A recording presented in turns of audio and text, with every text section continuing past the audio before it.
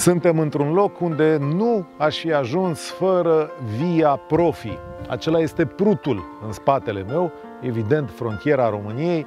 Peste apă este Republica Moldova. Suntem în nordul județului Botoșani, unde se agață harta în cui, iar noi am venit aici pentru că Via Profi ne spune că la Liveni, în direcția aceea, există un produs unic pe care îl face un om care pune suflet. Dulceață de usturoi, prieteni. Mergem să-l cunoaștem pe Bogdan Paliuc și să mâncăm dulceața asta și dulceața lui de trandafiri și toate minunile pe care le mai face în curtea sa. Haideți! Nu suntem primii vizitatori. Când cei 3000 de trandafiri din grădina copilăriei sunt gata de cules, localnicii și botoșenenii îl ajută pe Bogdan Paliuc. Mai sunt aceste flori. Ce soi e ăsta? Asta este un soi german roz de resci. Roz? Roz de resci. Roz este de din reș. familia Damascena, adică da. da, familia Damascena are mai multe soiuri. Mhm. Uh, Asta este are petala mai cărnoasă, Aha, deci după asta căutați. Ca să pot... așa, și se potrivește foarte bine pe partea gastronomică, adică este recomandat pentru, este special pentru gastronomie. Celălalt soi clasicul bulgăresc este mai volatil.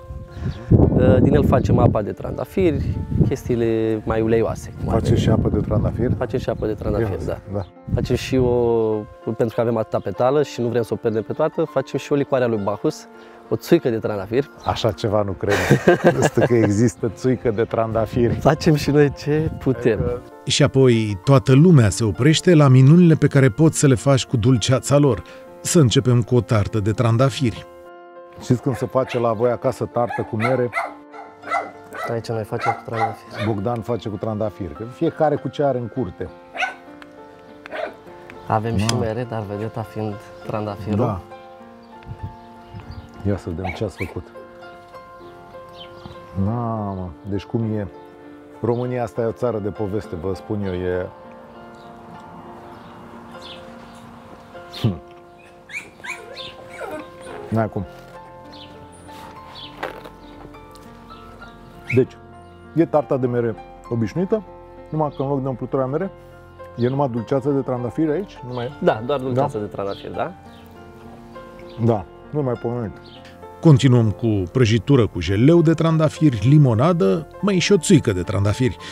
Dar totuși aici suntem în țara usturoiului. De asta s-a născut cea mai neașteptată dulceață cu putință.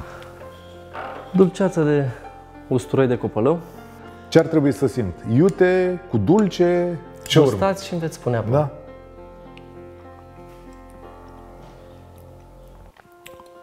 Wow! Este unul dintre gusturile surprinzătoare. N-am... Stați un pic, are și un aftertaste, că nu e așa. Are și aftertaste. Are Cum- și aftertaste. Cumva s-a regăsit uh, gustul umami. Mami, da. Da. Ar fi Deci, începe să că mai au gură și vă povestesc. Cel mai bine ne povestiți Nu, dumneavoastră. nu-mi dau seama nu-mi dau seama în ce cantitate trebuie pus, dar e chiar cam un sos. Dar stai că le-am luat la testat pe toate.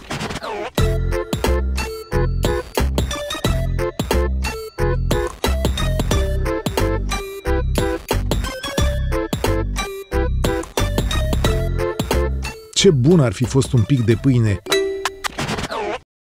Mă uit din nou pe Via Profi. Da, o găsim mergând mai departe, spre Iași, pe Valea Prutului. Nu suntem departe de Iași, poate 25 de minute cum mă uit eu încolo. Încoace e drumul către Ștefănești, pe Valea Prutului. Dacă cumva vă aduc pașii vreodată pe aici sau nevoia, curiozitatea, încercarea, aici suntem la magazia Amorăriței, pe Via Profi, căci se vede semnul deja. E adevărat că aici se face făina de porumb, de grâu, dar am văzut că se face și făină de hrișcă, cum vedeți deja pe mine că eu am intrat în moară, așa, pentru niște bunătățuri și pentru pâine artizanală, cum visezi de foarte multe ori. Dacă să faci pâine din aia bună, trebuie întâi să mergi la moară. Și de asta am venit aici. Hai să vă arăt. Asta, Asta e au fost hrișcă. Odată. Asta ai făcut odată, nu? Și Ai acum? făcut odată și Da. da. dăm încă o dată, iar asta e hrișcă la hrișcă. Ah, asta voiam să văd. Deci de câte ori trebuie dată? Deci, Două ori, da. deci asta e hrișca, da? Sper că se vede aici. înălțească mai tare. Așa, pentru făină trebuie făcută, pentru pâine trebuie făcută și mai tare, da? Și mai, da. Și cum să face? Deci rămâne pe o parte rămâne făina Nu, asta e asta, coaja. Asta e coaja. Așa. Ea are miez în interior, dar Da. da. măcinăm două ori. Bună ziua! Cât mai fină. A venit și morărița, Cecilia Țugulia. Asta se dă la păsări Da, sau la păsări, la porci, la da, ce? se amestecă în... uh, Asta sunt numai coși, nu? Da, Da. e corpul, uh, învelișul uh, pomului de creștere. soia. Da. A, așa. Și asta îți face separat și aici făina. La magazia morăriței muncește toată lumea. Tatăl, electricianul care a pus mora în mișcare acum 30 de ani, ginerele care pune roțile de azi în mișcare și morărița care face rețetele și povestea. Sunt Și multe. brânzoi, că n-am mai mâncat de când am plecat la București deja. Zic, acolo Da, nu... și chiar face niște Da. brânzoaice foarte bune. Da. Mama este deținătoarea a rețetei. A, dumneavoastră Ia. ați luat rețete de acasă și le-ați dus la magazin, Da. asta e, ați făcut. Asta este. Pe, pe asta a fost clădită magazia Da. Morăriței, de fapt, și de drept. Rețetele pe care eu le-am văzut în casa mamei și a bunicilor. Pâinea cum mai ea a morăriței se vinde la Iași, pe sărărie și este cu totul bio, dar mai ales gustoasă. O recunoaște. Mamă, ce bune sunt astea. Deci că spală în bru. Da, îl spune în bru. Spală în bru, nu? Spune în bru, după formă. Da? Chiar sunt spală în Pentru că bru. el sunt uh, ca și formă de împachetare, este exact cum Să rămână. puneau femeile pe stelca, îl ridicau, stăcea dreapta, în brâu și asta e Vai de capul meu. mai de kilogramele mele. Pe masa asta românească ar merge și o bucățică de carne. Via Profi ne duce la fabrica de fum. Întâlnim o altă familie, cum nații care au unit două visuri. Deci aici o pregătește de Se marinat. fasonează, da, și se pregătește de marinat. Ce, șapte zile la marinat? Da, da, pentru Poate chiar și mai ca mult. să iasă și Da. da. fraged. Am înțeles. Deci, La acolo e două secretul, zile, nu? La două zile se întoarce carnea, după care se agață pe cărucioare, se lasă la zvântat undeva între 24 și 48 de ore, după care se afumă, se face o afumare undeva la 8 ore, Aha, după afumare intră iară la zvântare, am înțeles. Și marinada aia ce puneți? uh, sale și condimente. Sare și condimente, dar uh, noi da, avem... Nu le spuneți, nu? Poftim? Uh, Sare, condimente Da. pe care nu ni le spuneți, nu? ba da, ba da, ba da, sunt, uh, dar... Uh, uh, Condimentele clasice, boia, piper, Știți cum e? citru. Cantitatea face toată... Că doar noi vi le dăm pe toate, adică Da. le putem scrie, dar cantitatea face tot uh, gustul, îl dă. Paul Ion se pricepe la vânzări, iar Marius Lungu la bucătărie. I-am întrebat de ce vor să facă o carne mai scumpă. Mi-au spus că prețul e corect când vrei produse adevărate, de fapt. La un procesator mare care vrea să scoată prețul bun pe piață, dintr-un kilogram de, pastru- de carne, poate să ajungă și la un kilogram 800 de iogurt sfinit. Fabulos. Da. Practic, Deci noi de dacă, asta- Acolo este dacă prețul. le-am pune lângă celelalte, ar trebui să scriem esență de carne. Prețul nostru nu este scump, este prețul real, este prețul ok. Asta este un canal clasic cu stroi. Cârnat pe care îl facem noi... Așa, care mai degrabă... Pahar. Atât.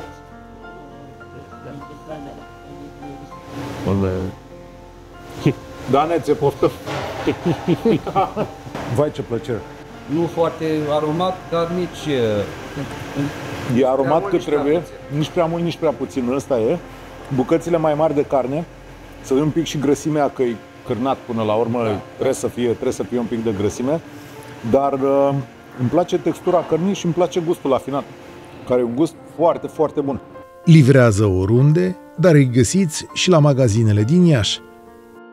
Cel mai bine este însă să prinzi câteva coaste pe loc.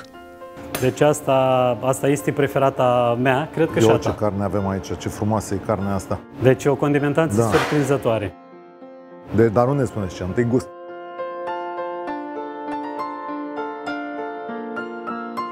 Bă, da. E, e surprinzătoare. Mm, E timpul să mergem mai departe. De data asta, drumul ne surprinde. Locul e marcat pe Via Profi și este o descoperire uriașă. Sunt la Bogdănița, în județul Vaslui. Dacă veniți dinspre Vaslui, drumul e greu, chiar și uh, o bucată de pământ. Dacă veniți dinspre Bârlad, e ceva mai bine. În orice caz, suntem într-un loc pe care mulți dintre noi l-ar considera la capătul pământului. Însă, aici oamenii pun suflet și sfințesc locul și fac legumicultură de înaltă clasă, cu câteva lucruri cu totul și cu totul speciale. Dar e mai mult de atât. Aici e o familie care schimbă comunitatea, întinerește satul și vreau musai să vă spun povestea lor. Anca Fogoroș s-a născut la Bogdănița, a fost șefă de promoție și face legumicultură cu inima, cu toată inima. Am văzut deodată 3 sau 4 feluri de, uh, 3 sau 4 feluri de roșii. Povestește-mi că eu așa roșii n-am văzut, uite, astea sunt cele mai... Exact. Astea. Ce avem aici? Aici este, noi îi spunem Soare Teofil, am botezat-o cumva după un băiețel care are o grădină cu trandafiri aici la noi în comună. Așa? Uh, Seamănă ca precum soarele, are așa razele. Așa, așa. O Ah, botezat-o... aveai voie să o rupi? Uh, Da, Am da. pierdut producția Pen- Nu, este Doamne, într- cum miroase, e aceeași plantă, fii atent. A Exact. făcut galben, a făcut roșie, a făcut vânătă, a făcut vânătă cu galben, nu ți le mai rup, că e Este tot- în funcție de cum uh, bate soarele în ea. Dacă bate mai tare, este mai neagră. Da? Dacă bate mai umbră, se mai decolorează, se duce spre Hai să mergem mai departe. verde. Ce roșii are asta? Uh, Este simila, se cheamă tot așa, în- încă nu i-a apărut pe piață, tot de la Banca de Resurse Genetice. Aici este rândul de test, să zicem Așa. așa. Uh, Să Ce-ar- vedem uh, cum... uh, Ce-ar Chiar trebui să sherry simila. O Tot puteți dulce? cu tot. Tot Uh, dulce? E un acrișor, Ia, varianta acrișor. Așa. Are mai multă vitamina Vai, C. De ce obicei, bună e. roșiile care au mult uh, licopen um, uh, sunt mai acrișoare, cele negre în general, au, um, s- au mai multă vitamina C. Ce ai acolo? Ia să vedem. Roșii verzi? Cred că aia mai mică, mai coaptă. Așa. Ce ar fi aici? Uh, Vă las să Ia. Da, de descoperiți. surpriză. O roșie verde. O gogonită, cum ar fi. Pe asta o iau? Da. Deci gogonele, cum ar fi. Vai. Ales cele mai dulci roșii pe care le-am mâncat vreodată. Deci asta e bomboana copiilor. Este un soi de, uh, adus din Belgia. Bomboana copiilor? uh, Da, chiar așa îi spunem. Uh, Am fost la un concurs uh, în Belgia, România au participat și au luat locul 2. Um, și acolo, Mă, cât de bună e. acolo l-am descoperit, am descoperit soiul și chiar e mai dulce la noi decât acolo. Și nu e vorba doar de legume, ci de relansarea unei comunități. Sute de copii calcă pragul în săptămâna altfel, dar minunea este cum și-a unit familia în jurul unui vis. din februarie și până acum nu a pus nimeni o sămânță, nici de este, nici de sen, nimic. Numai eu le-am pus. Ah, la, face la banca de semințe. Nu, nu, nu, în Da. alveole. Când Da. seamănă în alveole, când noi pla- Da. în alveole din alea, ea dă așa cu degetul în fiecare, fiecare sămânță, Fiec- fiecare gropiță. Stăteam, stăteam colez jos, așa, Așa, așa. și vata pe se cutie ta, și cât o făcea și el am pune o sticlă cu o Înțeles. sămânță, mărunțăle, ba de simbru, cât de mitele, cât de... și toate. Fiecare a trecut sămânță. Vinetele Fiecare alea. sămânță a trecut pe tine și tot Ios, bravo. Păi așa se face munca în familie. Da. Deci De asta, muncești și de asta și dumneavoastră. așa gustoasă, ca uh, sufletul Le-a făcut bunicii. cu suflet. Îți cu dragoste. Dragoste și minuni aici la ferma Ursu trebuie să ajungeți. Dar haideți să vă mai arăt ceva, până să ajungem la roșioare. Ai dat un măr, să mănânc un măr? Da. Măr pădureț? Da. A? Și uitați-vă în interior. E roșu. Are e foarte, acru. foarte multă vitamina C. Uh, E... Oh, cât de acru. Mhm. Deci asta e medicament curat. Nu o să mă satur să o spun. România este extraordinară, iar Via Profi ne arată la fiecare pas.